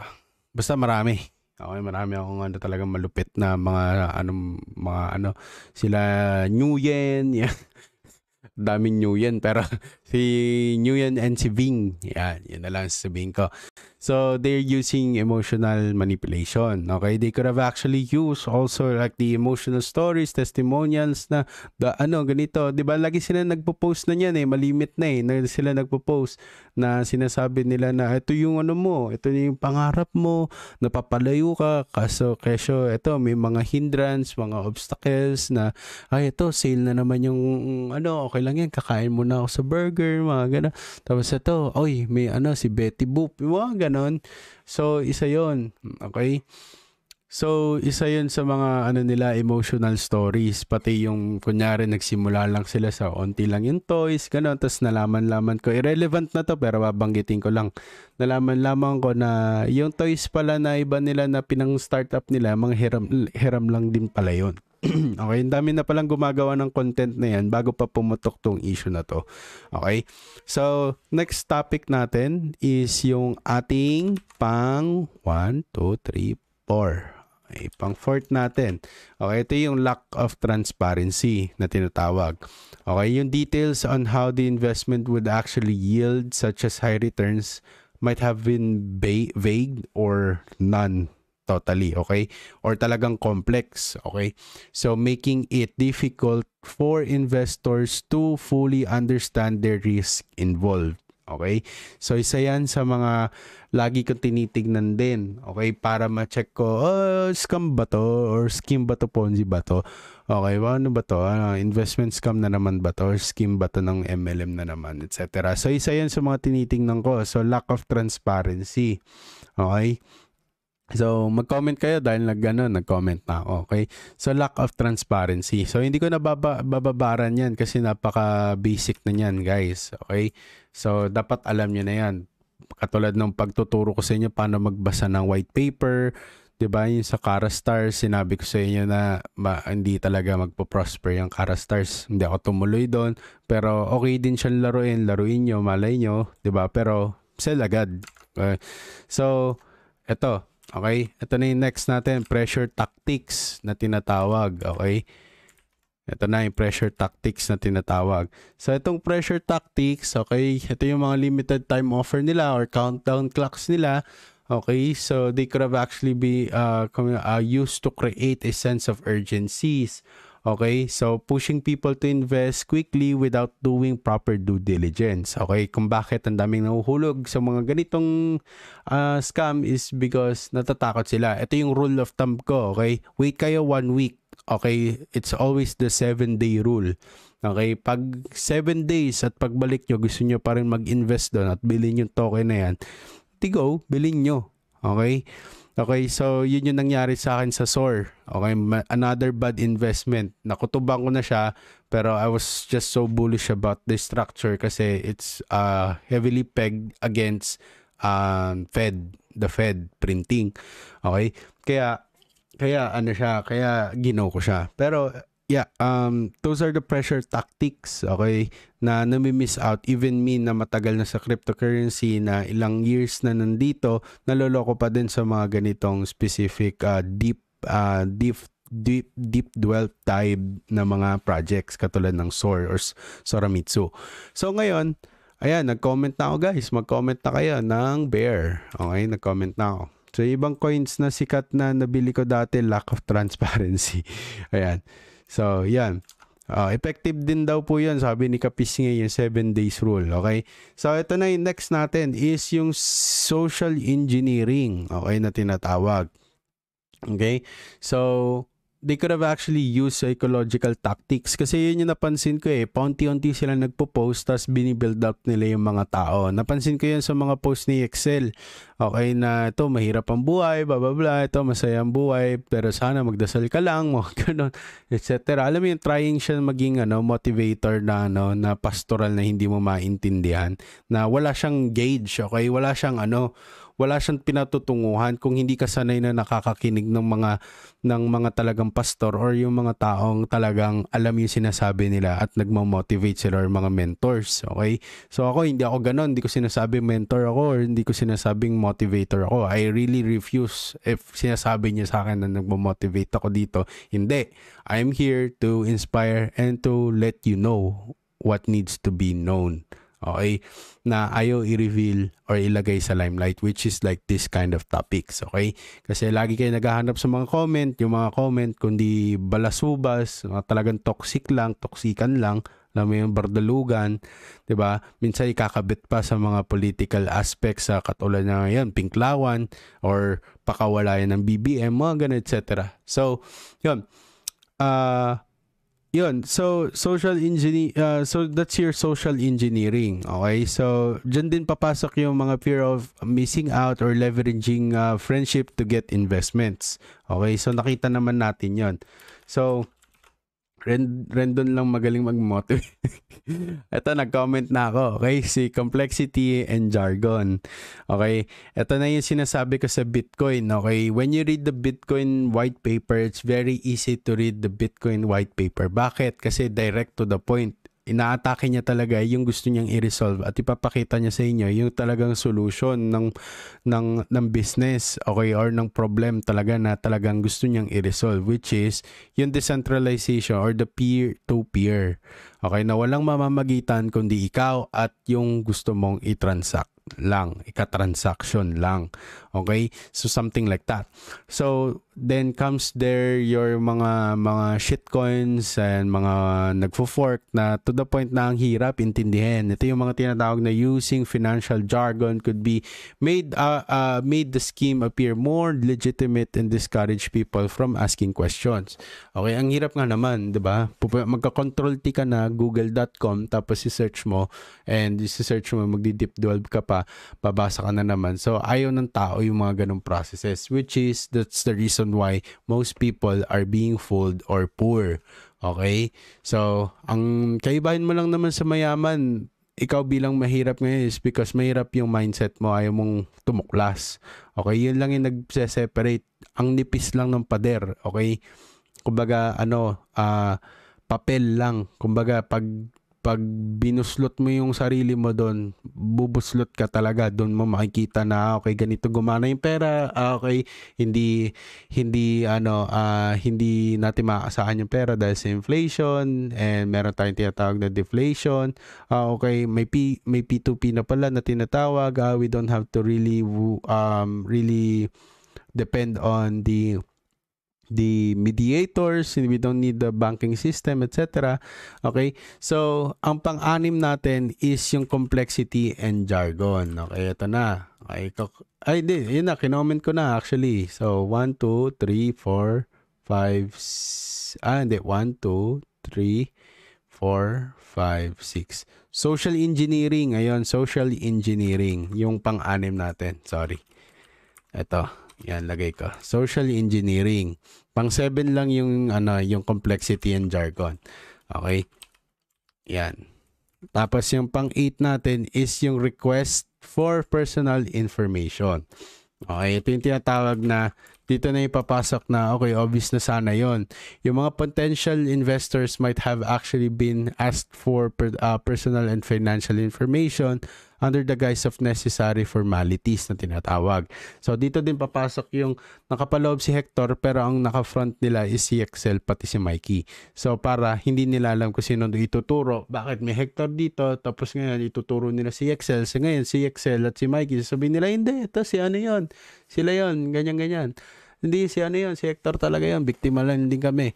You know that um those kind of uh, like um kind of team na talagang ano, ganun ng galawan. Okay, katulad sa sabihin natin sa gala, nagkakasuhan sila doon, sila sila. Okay? Nagaano, nagsasagutan, ganyan. Ang hirap ng ganong ah, investment. Okay? So, yun yung mga iniiwasan ko na ano, katulad nga nung doon sa Haven. Okay?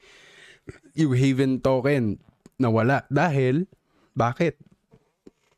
Kasi kaway sila eh. Na-disband sila. Okay? Ngayon, dito na yung tinatawag na pang-sham natin. Okay? Ito na yung pang-sham natin. Guys, matatapos na tayo. Okay? Ito na yung inconsistencies na tinatawag. Okay? Ang daming inconsistencies sa stories or investment details. Lalo na dun sa mga talagang promotional deals at yung mga sinasabi ni Yexel na patungkol sa mga stories niya, patungkol sa ano. Kumbaga, kung ano lang yung gusto niyong sabihin, sinasabi lang niya. Wala siyang, kumbaga, wala siyang format. Napapansin niyo yon na ngayon pinag-uusapan niya about uh, journey mo sa uh, sa investment, etc. Napapakawalan mo ba yung pangarap mo, etc. Sabayan mo na pagdadasal, etc. Para mga ganun. Okay? So, the, the, uh, the, the inconsistencies in the um, stories or investment details could be a red flag um, could have been actually a red flag dun sa mga nakita natin sa ginawa ni ano eh. Kung ganun tayo mag-isip sana. Okay? Yan yun. Inconsistency. And they are often uh, looked uh, overlooked when people are swayed by other tactics which is yun nga binablock, tina, ina, ano nila, pinapahiya nila Okay, katulad sa crypto investments, etc. sa mga Telegram, mostly prominently this is in Telegram, na pag nagano ka, nag-spill ka ng katotohanan, ang sasabihin sa iyo dito, sasabihin sa iyo sa mga ano, do not spit, uh, do not spit, uh, um, ano ba yan? May sasabihin eh, there, do not, ano, do not, uh, do not spread uh, FUD here, mga ganyan. Okay. Ngayon, ito obvious na to. Ito yung pang-sampu natin. Ewan kung bakit natin kinakaligtaan to. Pero this is very true. Okay. This is the too good to be true. Okay. The promise of high Okay, guaranteed returns with low or no risk is a classic uh, sign of a scam. Okay? So, it really depends. Napaka-subjective niyan. Also, mahirap yan. Kaya nga, hindi mo siya gagamitin alone. You will be using nine of the rest. Uh, the rest nine uh, indicators that I gave you. Okay? It's all 10. Okay? That you need to do as a check mark. Hindi to basta cherry picking lang kung ano nila yung mag-workout, okay? So sinabi ko lahat sa inyo yung mga ginamit na proseso nila ano ng mga, itong influencers na to, ginamit nila yung sarili nila, ginamit nila yung isa't isa. Tapos, uh, minake sure nila na ang, ang structure, magaling din to si Hector eh. Magaling to si Hector. Sinasabi ko sa inyo, sanay na tong scammer na to. At uh, ewan ko ba't hindi pa rin to patay. Okay? Yan pinagtataka ko sa lahat. Okay? Pero, okay, uh, may nag-share din na, sa akin dito sa may suggestion tab natin. Okay? Sabi niya, okay, ito. Ayan, ayan, ayan, ayan. ayan. Okay. I, uh, ano ko na lang. I, ipipaste ko na lang dito sa ano natin. Sa main chat natin sa Discord. Okay? Ayan. So, sabi niya, okay? Kauso, about to say Excel Mikey, Hector, blah, blah, blah, blah, blah, blah, blah, nasagap ko dito, dito, dito, dito, dito, dito. Ito, ito, sabi niya dito. So, sa Tulfo lang din ito nakuha. Sabi niya, na meron daw mga nakikidnap na Pinoy, okay, dahil sa utang, sugal, that's why dito sa Pilipinas, maraming mga Chinese ang kinikidnap uh, la, ang kinikidnap last year dahil di, uh, dahil may involved about casino and and shits na pinauutang ng mga Chinese loan sharks. Okay na madalas pina, uh, pinapautang nila ito sa VIP nila na hindi maka-withdraw ng malaking amount na pera kasi nga alam mo naman kaoso narinig ko na sa iyo ito kapag malaking amount ng pera wini-withdraw kahit sa iyo naman yan, ang daming shits na hina, hinahanap ng bank and tanong, okay? So that's why dito na nila pinahirap, pinapahiram yung mga VIP nila. So ito yung mga junket nga. Tapos naka na kapag hindi nakabayad, kinikidnap nila at papatayin nila, talamak yan dito sa Pilipinas. So maraming mga ah, mga casino pogos na nag-ooperate dito sa Pilipinas, sa Pinas, hindi ko alam bakit inalaw pa din ng government ng Pilipinas ito. Siguro mataas kasi nakukuha nilang tax dito pero kawawa mga Pinoy na na na, na, lonat na lalo na mga OFW nagsusumikap at nagtatrabaho sa ibang bansa yumaman lang ay at may chismis nga din daw na may mga Chinese triad daw doon sa big casinos like Okada, Soler, COD, etc. Okay, so operate ng ganitong shits, shits na nagpapautang ng pera. Okay, so alam ko meron din yung mga side uh, side um, alam ko pagkakitaan pa nila yung mga katawan na yan. Alam ko kina ano china-chop-chop nila yan, binebenta din nila yung mga laman loob. Alam ko may ganyang ano eh. Narinig ko na yan sa tito ko dati na yan din yung isa sa mga ginagawa. Okay.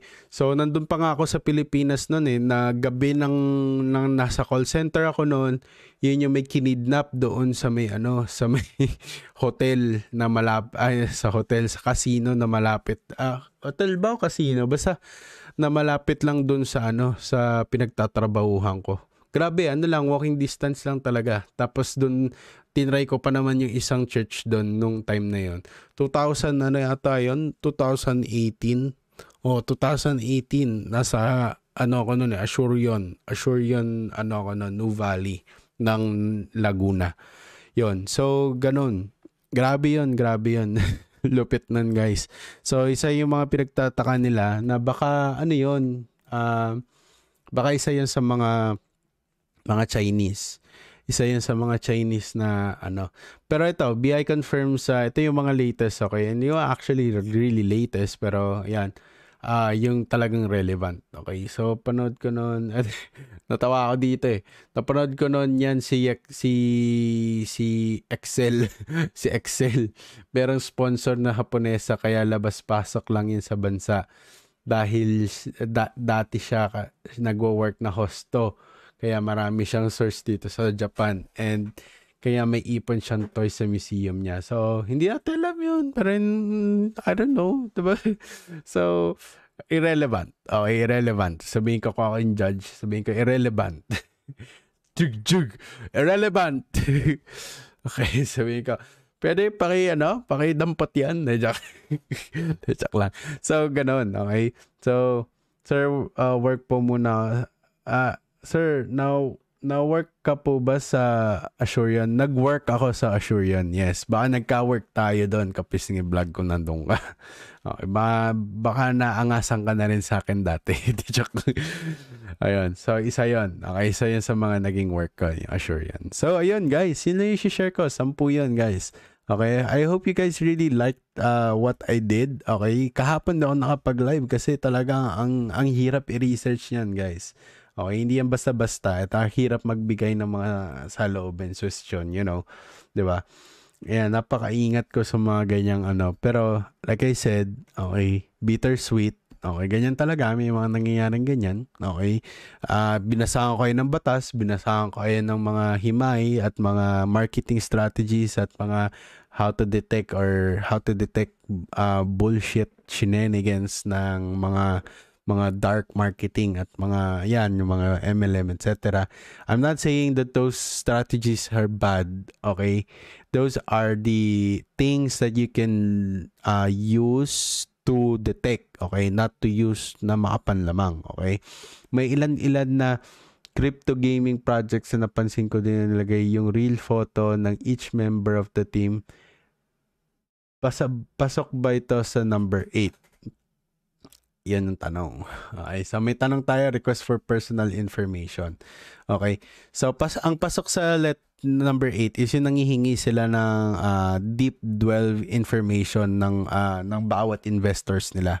Okay, so that's why uh, decentralization is very important and will be a key factor for uh, financing. Okay, na hindi na nila kakailanganin ng mga ganitong data para lang makabuo ng banking or ng bangko kasi they can be the bank themselves. Okay, so ayun. Okay? So, same po pala tayo. Nag-work din po ako sa Asurion. Taga-kiss-kiss ng likod ng case ng ah, iPhone. Ah, tapos nag-abroad na din. Ah, okay. Tiga Asurion, ano ka pala, yung mga nag, ano, malaki bayad dyan, guys. Okay, wag yung maliitin yung trabaho na yan. Mahirap yung trabaho na ganyan. Okay, yung, yung, ano, yung sa factory ng Asurion, nako, napakahigpit nila dyan. Kasi lalo na nung call center ako, dami ko nakakausap na nag, ano, may alam dyan sa mga ganyang processes. Ang hirap. Okay, ang hirap niyan. 'Di ba? Ayan. So, ano yan, no? Sabi like and subscribe na kayo guys. Ano, ano na patapos na, na lang. Ayan, so guys, so gano'n kayo. Mag-like na kayo. Nagmamukha na ako guys. okay. Fame whore ako guys. Guys, mag-like kayo, mag-subscribe. I hope you really do like this uh, this live and I I I am very very very sorry hindi ako nakapag-live yesterday but I will try to be live yes uh, tomorrow so that I will be still in schedule, okay? So I hope you really guys did enjoy as well and I hope this was uh pasok sa informative nyo, okay? Sa phone ako nanonood para para may ads. Wow, lakas, lakas mo to. para may ads. Okay. So, yun, thank you so much kay Mark sa ads team natin. Kung may replay team, meron tayong ads team at ang head ng ads team natin si Mark. okay. Uh, almost 2 hours na pala. Haha. Oo nga, almost 2 hours na tayo. So, yun. Ah, hanggang dito na lang tayo guys and thank you so much. Ngayon lang luma- lumaki yung viewers natin kung kailan patapos na. Guys, ang daming pinag-usapan. Hinimay ko to sa simula hanggang sa mahilot ko kaya hanggang sa huli. I hope you guys watch it and you will enjoy it guys. So if nag-enjoy kayo, um, mag-comment kayo ng bear and thank you so much. And again, chismis lang ang lahat ng yon. Kailangan nyo pa rin aralin, planuhin at kilusan. Nang sa gayon, ang lahat ng to ay ating makamtan. At syempre, stay awesome. Goodbye guys. Bye na guys ha. Thank you so much guys. Siyempre kunyari commercial, di ba? Thank you so much guys. Thank you, thank you.